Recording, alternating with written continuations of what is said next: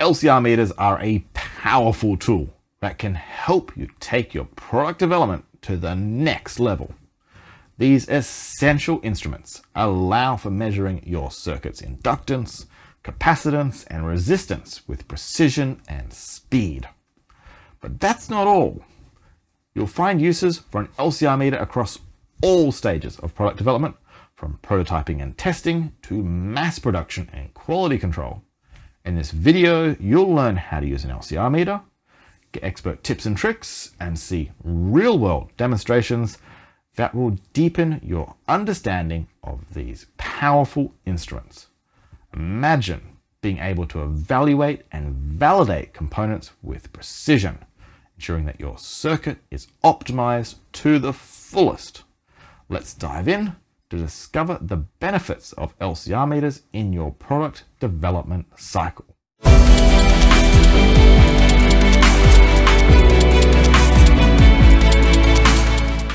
Hi, I'm Mark Harris, one of Altium's team of industry expert consultants. So, what is an LCR meter? LCR meters not only measure the fundamental properties of inductance, capacitance, and resistance, but also provide additional measurement capabilities such as phase angle, dissipation factor, reactance, and conductance. The measurement of these component properties is vital in characterizing their impedance, precision, and performance. You might wonder why you can't just use your digital multimeter for this task. LCR meters differ from digital multimeters in that they are specifically designed to measure these properties and provide more accurate and precise measurements, particularly at higher frequencies. By measuring the component at the frequency it will be utilized in your circuit, you can optimize your schematic based on its actual performance. LCR meters come in different form factors and have a wide range of price points. Handheld LCR meters are portable, compact, and typically low cost. However, their measurement accuracy may be lower than benchtop LCR meters, and they may only offer a limited range of fixed test frequencies. Benchtop LCR meters, like my Rohde & Schwarz LCX200 here, have higher precision and more measurement capabilities than handheld meters. They're also more likely to offer a higher maximum test frequency. My Rohde & Schwarz LCX200 is a very high performance benchtop LCR meter with some extreme measurement accuracy and the ability to dial in any test frequency within its range. If you're choosing an LCR meter, it's essential to consider the specific needs of your application. For example, a handheld unit might be fine if you need basic component testing or verification. However, a benchtop unit might be more appropriate if you're building components or trying to optimize every part of your circuit. Let's fire up the LCX and test some components. If you measure the current draw of a circuit with a current shunt, you might be surprised at how much impact the resistor type has. For example, this through-hole 3 watt 50 milliohm current shunt would be fantastic. It allows lots of airflow, so it won't overheat. The question is, uh, will it give us the measurements we expect? At low frequencies, the impedance is the same as the resistance. However, if we were to use this on a higher frequency circuit, the impedance starts to change dramatically. By 200 kilohertz, our impedance is now 10% over the resistance value. When we hit 1 megahertz, the impedance is more than double the resistance. This is all due to the resistor's inductance. If we add some current bias to the measurement, even with just 200 milliamps of current, the impedance is three times the resistance. This will present some real challenges if you're trying to measure current draw at anything more than 100 kilohertz. You can forget about using it for current measurements at 1 megahertz.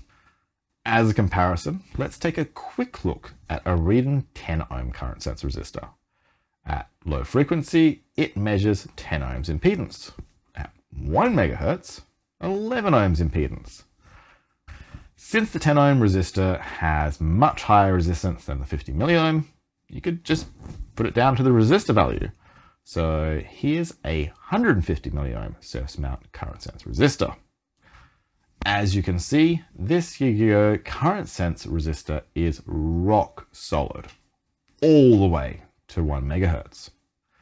I have these in 150 milliohm 1 watt resistors because three of these in parallel equals one 50 milliohm 3 watt resistor, just like we looked at before. The difference is these current sense resistors are usable at higher frequencies.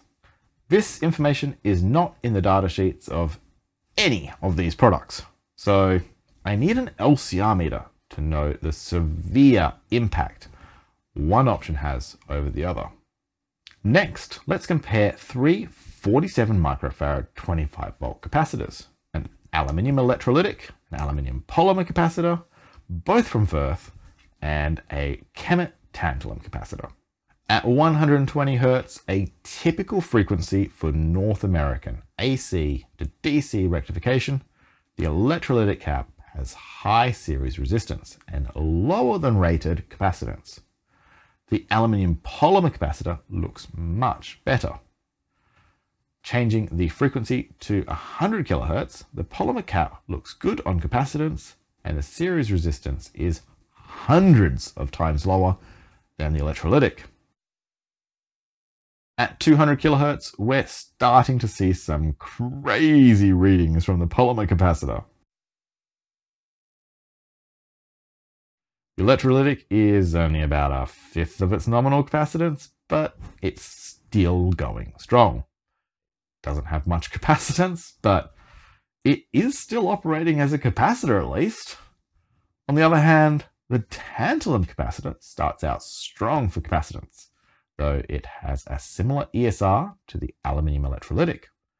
While the capacitance does drop off dramatically, it's holding out much better than the other capacitors until just past 800 kilohertz, where it starts to get challenging for the LCR meter to figure out.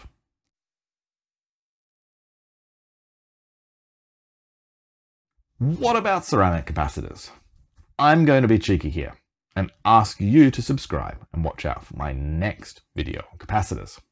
I have so many capacitors from all the major manufacturers with the same value and voltage rating. So rather than test them one after another, I'm going to plot their performance. Then we can take a deep dive into capacitor performance, giving you the data you need to choose which types of capacitor will best suit your applications.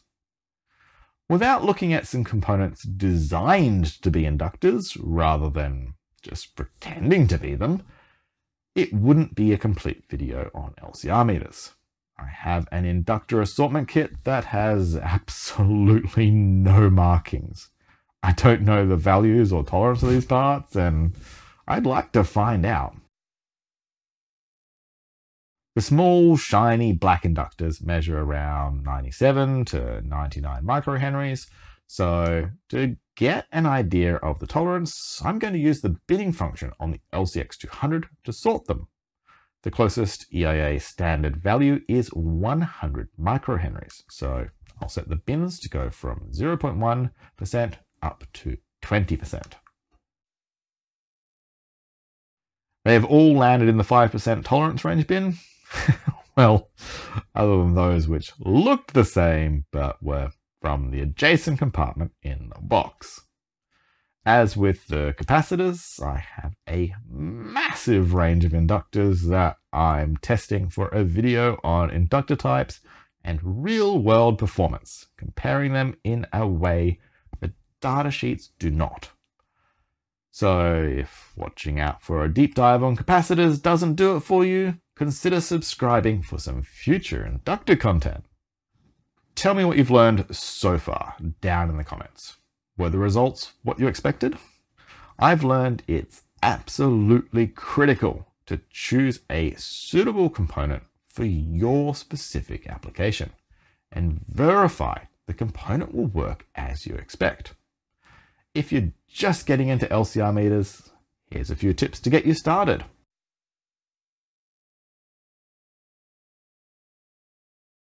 Firstly, give your meter a chance to warm up before running compensation or comparing components.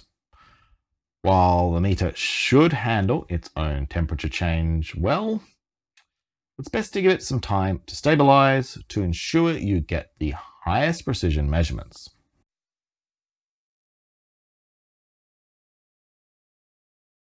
Fixture compensation is used to correct the parasitic capacitance and inductance introduced by the test fixture itself.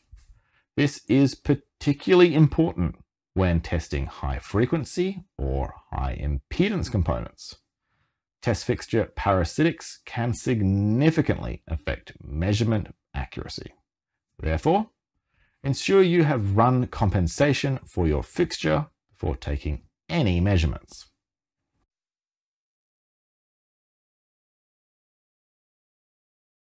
When using an LCR meter, it's also essential to pay attention to the test frequency and the measurement parameter you are using.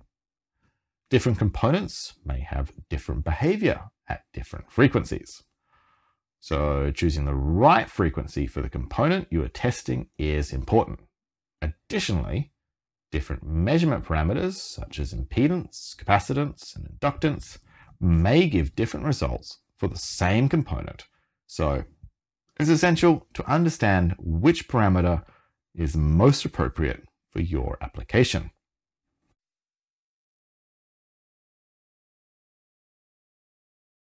Use the highest test signal level your LCR meter supports and still give you a good reading.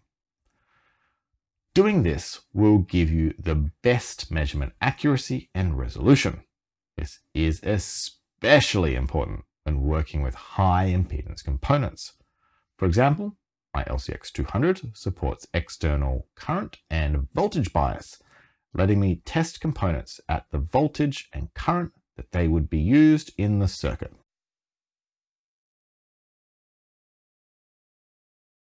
Finally, using good quality fixtures, test leads and cables matters as poor quality leads can introduce noise and measurement errors.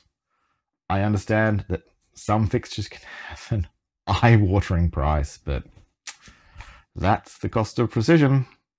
Additionally, always ensure the test leads are correctly connected and in good condition before taking a measurement. Loose or damaged test leads can lead to inaccurate readings. In conclusion, LCR meters are essential for measuring the electrical properties of components. Using an LCR meter to evaluate components before building a critical circuit around them lets you ensure your board will perform as expected and allows you to optimize for every last bit of performance.